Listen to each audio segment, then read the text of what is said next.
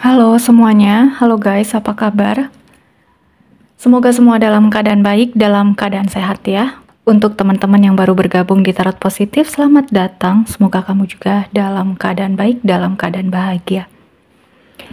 Ini general reading pembacaan kartu energi banyak orang bisa cocok, bisa juga tidak, bisa resonate, bisa juga tidak. Bisa saja ada energi yang kebolak-balik atau vice versa. Kalau nggak resonate, jangan dipaksakan resonate, berarti energinya bukan untuk kamu tapi untuk yang lain, ya. Ini hanya sekedar fun reading, ini hanya sebuah prediksi teman-teman, kepastian hanya milik yang maha kuasa. Jadi kamu jangan lupa untuk menyerahkan segala sesuatunya kepada yang maha kuasa, ya. Tema kita kali ini yang akan terjadi jika dia bertemu kamu lagi ya di suatu saat. Yang akan terjadi jika dia bertemu kamu lagi. Ya entah di mana, jika kalian bertemu lagi, apa yang akan terjadi? Ini bisa energinya mantan gebetan kamu atau pasangan kamu, ya, atau orang di masa lalu. Kita akan lihat yang akan terjadi saat dia bertemu kamu lagi. Jika kalian bertemu kembali, apa yang akan terjadi?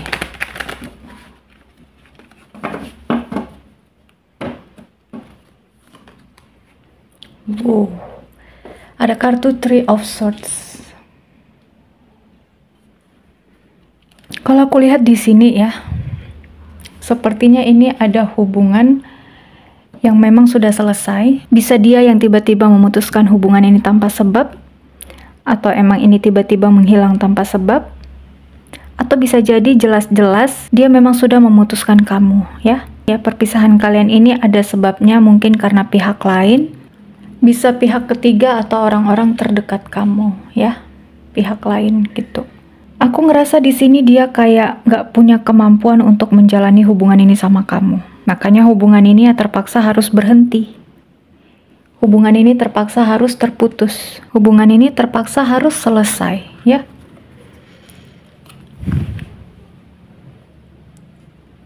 Beberapa dari kalian ini aku ngerasa ada yang masih sendiri. Kalaupun kamu punya pasangan di sini, tapi kamu kayak lebih sering sendiri gitu ya. Ini lebih kepada energi single sih kalau aku lihatnya. Nah, di kartu Eight of Cups, Aku melihat sepertinya kamu sempat mengatakan sesuatu sama dia yang di mana itu mungkin membuat dia merasa terpojokkan. Membuat dia merasa seperti disalahkan dan akhirnya di sini dia kayak memilih untuk pergi dari kamu. Di sini dia memilih untuk menjauh dari kamu. Ya. Dan aku ngerasa di sini teman-teman ada sikap atau mungkin ada perkataan kamu yang membuat dianya pergi dan terasa banget di sini ya ada energi kemarahan kamu sama dianya. Artinya mungkin kamu kebawa emosi ya. Jadi di saat marah kamu kebawa emosi sehingga kamu di sini kayak mengeluarkan kata-kata yang kurang enak didengar. Atau mungkin ada sikap yang membuat dia di sini kayak ya udah deh hubungan ini gak usah dilanjut gitu. Makanya dia di sini memilih pergi dari kamu. Dan aku ngerasa di sini Sepertinya kamu benar-benar fokus sama diri kamu sendiri, ya. Untuk kamu di sini yang single, sepertinya kamu menunggu orang lain atau memang menunggu orang baru yang bisa datang ke dalam kehidupan kamu, tapi kamu tidak terlalu mengharapkan dia yang datang ke dalam kehidupan kamu, ya. Ya tetap fokus, tapi memang sekalian menunggu orang lain atau orang baru, tapi mungkin orang yang datang ini kayak bukan orang yang kamu harapkan gitu loh, ya. Mungkin dari sisi atau dari segi kriteria nggak cocok sama kamu. Jadi memang ini seperti orang yang bukan kamu harapkan, tapi dia hadir ke dalam kehidupan kamu gitu ya. Ini ada hubungan yang berjalan sangat santai, ada hubungan yang berjalan sangat slow. Mungkin kamu sama dia di sini sudah lama kenal tapi tidak ada kejelasan. Sudah lama jalan bareng, tapi nggak ada keputusan seperti itu. Coba kita lihat lagi energi kamu dan dia di sini. Seperti apa? Yang akan terjadi jika dia bertemu kamu lagi. Aku melihat sepertinya di sini kamu emang berdiling dengan seseorang yang punya pemikiran yang baik ya, punya pemikiran di sini yang bijak sebenarnya. Dia orangnya di sini cerdas dan aku melihat energi dia kayak mencoba untuk yang di mana baik untuk kamu atau baik untuk dia dalam arti di sini dia berusaha ya untuk move on atau pergi ke dalam kehidupan kamu adalah untuk kebaikan kalian bersama. Jadi baik untuk kamu, baik untuk dia, kayak gitu. Karena hubungan ini sepertinya memang gak bisa dipaksakan.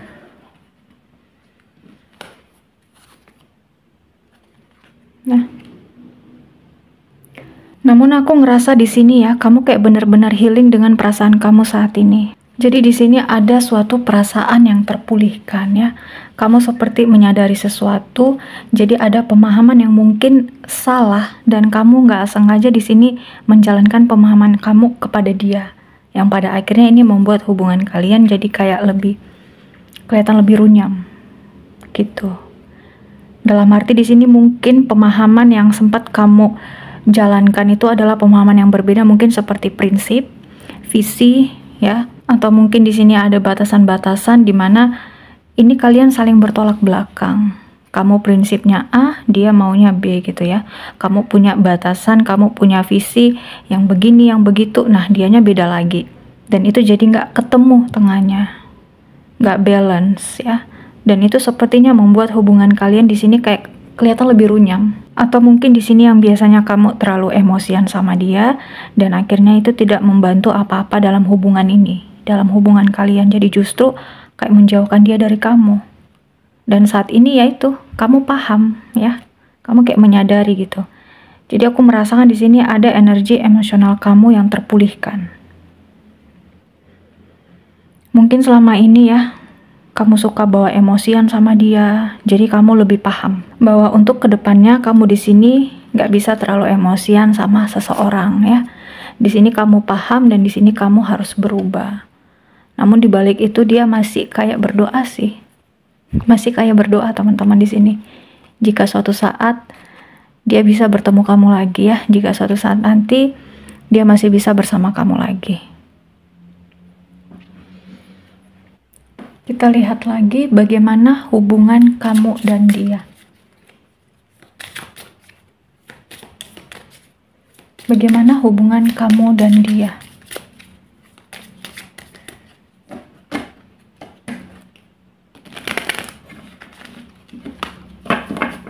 bagaimana hubungan kamu dan dia.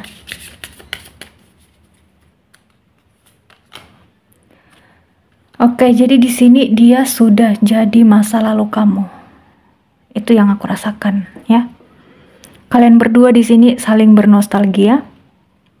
Bernostalgia dalam arti ketika kalian melihat foto kalian masing-masing ya. Mungkin ada foto kamu yang tersimpan di HP-nya dia atau mungkin di kamunya ya juga masih ada tersimpan fotonya dia. Jadi setiap kalian di sini melihat foto masing-masing itu membawa energi nostalgia. Jadi flashback lagi ke belakang ya. Ini merindukan satu sama lain sih di antara kalian. Dan akhirnya di sini ada yang memahami bahwa memang ada kesalahpahaman di antara kalian. Sambil melihat foto, sambil merenung, ya. Jadi berakhirnya hubungan kamu dan dia di sini kayak membawa perubahan di dalam hidup kamu ya, atau mungkin perubahan di dalam hidup dia juga. Ini bisa perubahannya ya menjadi lebih baik atau emang malah sebaliknya. Ya. Karena jelas sekali di sini ya. The relationship is over, no second chance ya. Grow and transform your life. Jadi memang ada perubahan ya mungkin entah kamu atau dianya ke arah yang lebih baik atau malah sebaliknya. Addiction. Hubungan ini sepertinya kayaknya dijalani dengan hasrat ya. Hubungan yang dipenuhi dengan gairah, dijalani dengan rasa obsesi yang besar ya. Dan ini ada yang kayak masih nggak bisa sebenarnya tanpa kamu ya karena mungkin dia yang merasa bergantung sama kamu di sini dia di sini yang punya semangat dia yang punya gairah atau hasrat yang lebih besar sama kamu Makanya ketika hubungan ini berakhir, ketika hubungan ini tidak baik-baik saja, dianya di sini yang mengalami atau merasakan kekecewaan yang mendalam. Karena emang dia di sini yang lebih excited sebenarnya sama kamu. Ya. Oke, okay, I like you. Bagaimana hubungan kamu dan dia? Aku melihat di sini sepertinya dia yang emang lebih dulu mengejar-ngejar kamu dia yang lebih dulu di sini kayak menunjukkan sinyal-sinyal atau tanda-tanda bahwa dia di sini menyukai kamu, ya. Sangat tertarik sama kamu.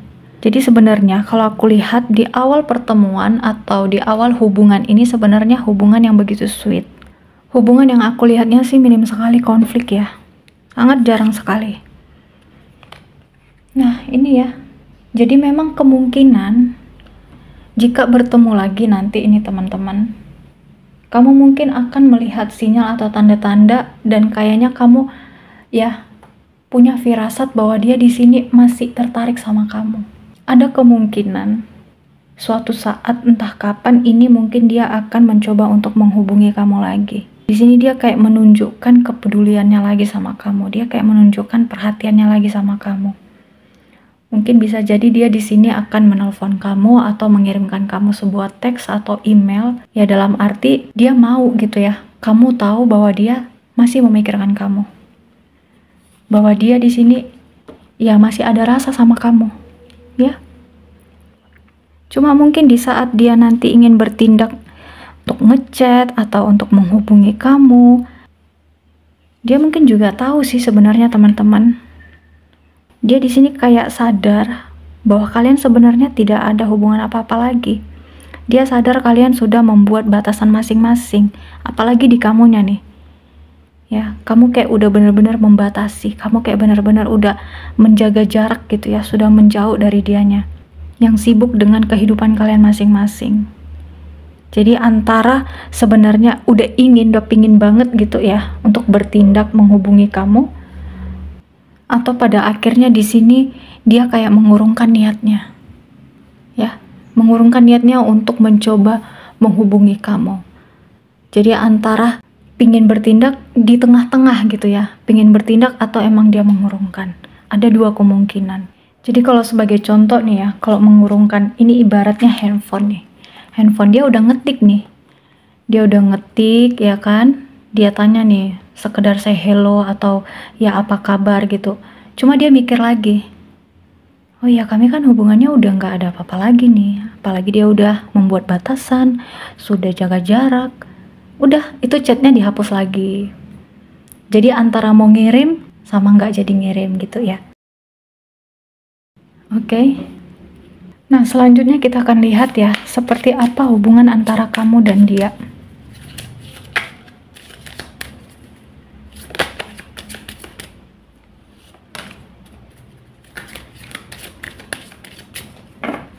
Seperti apa hubungan antara kamu dan dia?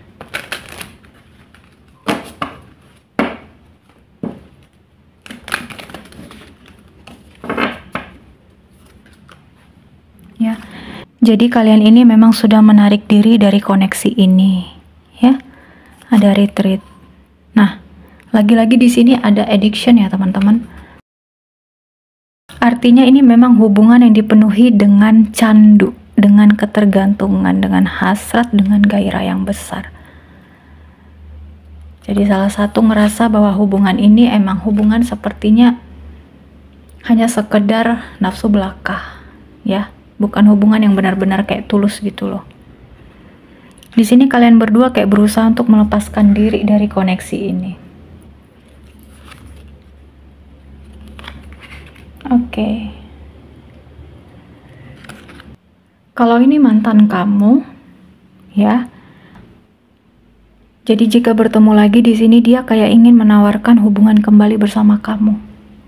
Namun kalau ini orang yang memang bersama kamu atau pasangan kamu saat ini tapi kondisinya di sini mungkin kamu dan dia lagi berjauhan, kamu di mana, dia di mana gitu ya, beda kota atau beda negara. Jadi jika bertemu nanti aku melihat ada rencana dia untuk mengajak kamu serius ada rencana dia di sini untuk berkomitmen sama kamu.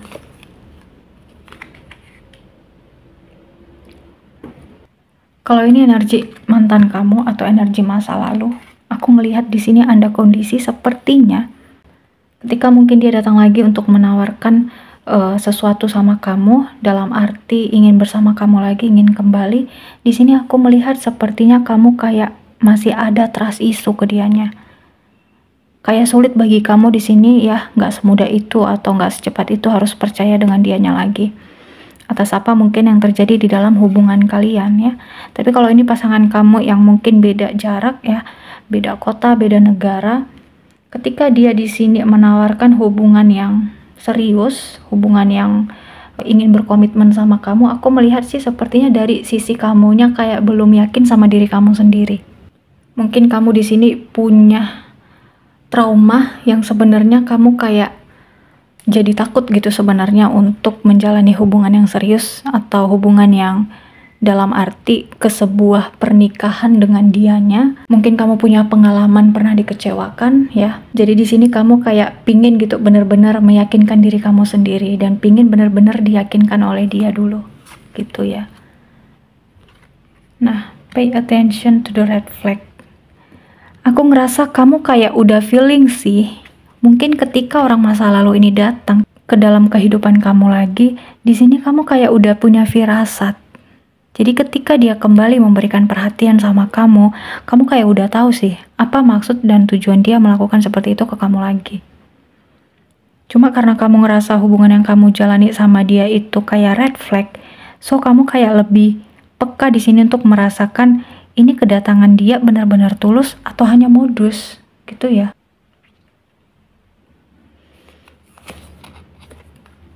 chemistry. Nah, romantic feeling. Dan perlu kalian tahu teman-teman ya, kenapa dia kembali lagi di sini ingin kembali lagi sama kamu ya. Mungkin ketika nanti bertemu dengan maksud dan tujuannya pingin bersama kamu lagi, ya ini sebenarnya ya. Sebenarnya kamu itu punya ketertarikan yang di mana dirimu itu seperti magnet bagi dia. Makanya dia kembali lagi sama kamu Ya ini sepertinya banyak banget ini hubungan yang on off. Nanti kalau udah pergi dari kamu, dia melalang buana entah ke mana, terus balik lagi sama kamu. Karena apa? Apa yang dia cari dari orang lain, ya, itu tidak didapatkan. Jadi semuanya itu ada di kamu, makanya dia kembali lagi sama kamu.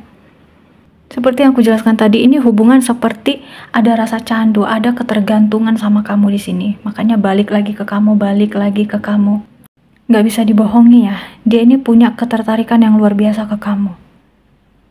Ya, makanya di sini ada niat dia sebenarnya, ada kerinduan dia untuk bisa merasakan hubungan yang romantis lagi sama kamu. Dia ingin bersama dengan kamu lagi. Kita lihat ya, apa yang terjadi ketika kalian bertemu lagi. Apa yang terjadi ketika kalian bertemu lagi? Apa yang terjadi ketika kalian bertemu lagi? Apa yang terjadi ketika kalian bertemu lagi?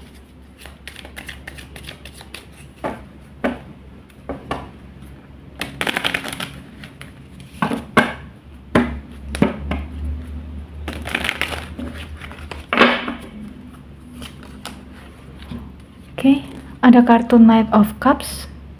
Aku melihat di sini ya, sepertinya akan ada yang memulai percakapan sedikit demi sedikit ya. Mungkin ketika kalian bertemu nanti, di sini mungkin dia yang akan membawa sesuatu sama kamu berupa barang atau apa pun itu. Jadi di sini ada situasi di mana kalian akan saling ngobrol perlahan-lahan ya. Mungkin dari say hello dulu, nanya kabar, ini sambil melihat ekspresi masing-masing apakah masih ada yang marah? Apakah masih ada yang kesel atau cemberut gitu ya? Jadi ya walaupun di sini ada rasa keraguan-raguan ada rasa canggung tapi sepertinya dia akan mencoba untuk kayak mencairkan suasana gitu agar nggak terlalu canggung agar nggak terlalu kaku.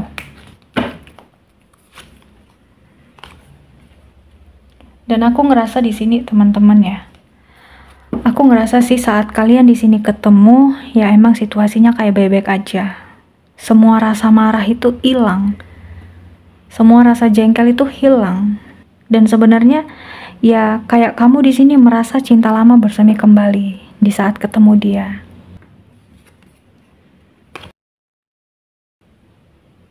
Oke, okay. apa yang terjadi jika kalian bertemu lagi?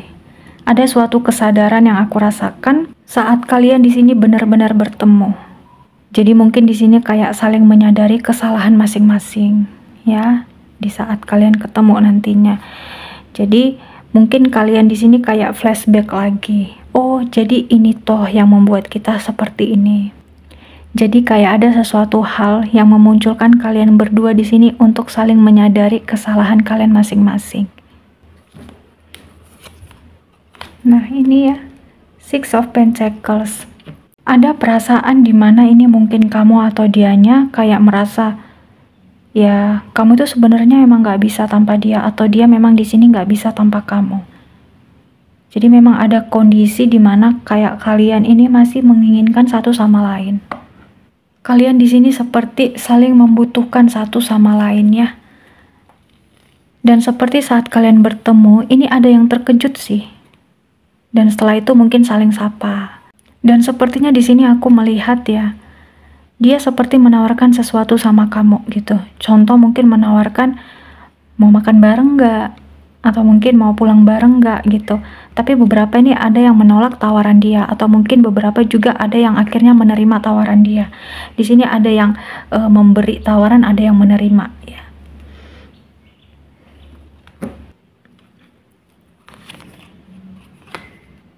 Oke. Okay.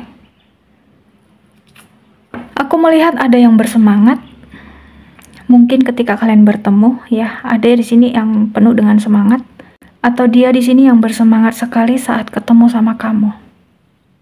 Ya, bisa energinya ini vice versa ya, atau mungkin kamu yang bersemangat, teman-teman. Di sini aku melihat kalian kayak ngobrol dengan tulus sih. Tidak ada suatu tekanan yang semuanya kayak terlihat mengalir gitu aja, baik-baik aja. Benar-benar kayak bercanda. Bahkan ada orang yang mesra ya, aku lihat di sini. Sampai kalian di sini benar-benar lupa masalah kalian itu sebenarnya apa, ya di kartu Two of Cups.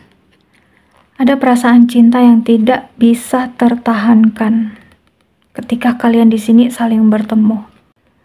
Di sini kamu dan dia saling bertatap-tatapan. Di sini kayak kalian saling pelukan, kalian berdua saling mencintai. Dan kalau aku rasa ya kamu energinya di sini kamu kayak mengetahui gitu sih kalau dia emang sangat mencintai kamu. Kamu kayak tahu aja gitu kamu kan punya feeling ya, kamu punya firasat kayaknya dia masih suka deh sama aku ya, seperti yang aku jelaskan tadi mana I like you ya. Kamu kayak punya firasat, kamu mengetahui bahwa dia sangat mencintai kamu ya di saat kamu ketemu sama dia nih. Kalian berdua di sini akan saling merasakan betapa kalian saling mencintai satu sama lain ya. Ada energi yang begitu. Ya, beberapa di antara kalian ada yang seperti itu energinya. Oke, jadi ini bacaannya nggak semuanya cocok ya. Mungkin hanya beberapa aja. Namun kalau nggak cocok sama kamu ya, readingannya kali ini kamu bisa ambil dari sisi positifnya aja. Ya mungkin kalau dia datang atau kalian di sini bertemu lagi, ya dalam arti memang udah atas seizin semesta. Ya itu kan nggak bisa dibuat-buat ya. Ya mungkin itu udah waktunya semesta untuk kalian di situ bertemu.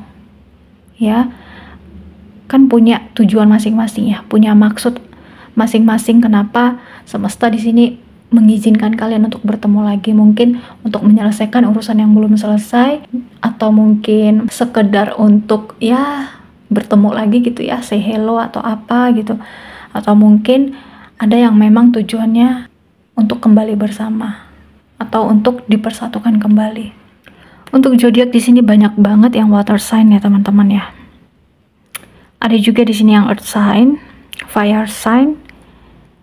Ada juga sih yang air sign ya. Jadi kalau untuk water sign di sini Pisces, Scorpio. Lalu energi yang paling kuat di sini ada Taurus, Capricorn, Aquarius, Leo, Aries, lalu Gemini. Oke okay guys, sekian dulu readingan kita kali ini.